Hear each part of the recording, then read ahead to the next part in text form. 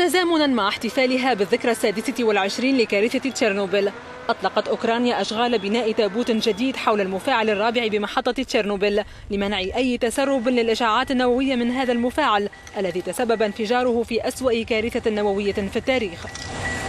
الرئيس الأوكراني فيكتور يانوكوفيتش صرح في حفل رسمي بمناسبة بداية المشروع. كارثة مفاعل تشيرنوبل علمتنا الحذر عند استخدام الطاقة النووية. لأن الحوادث النووية لها آثار سيئة على العالم بأكمله. التابوت الجديد سيعوض المكعب المشيد من الخرسان والفولاذ عام 86 من القرن الماضي ويهدف إلى ضمان أمن المفاعل خلال القرن المقبل.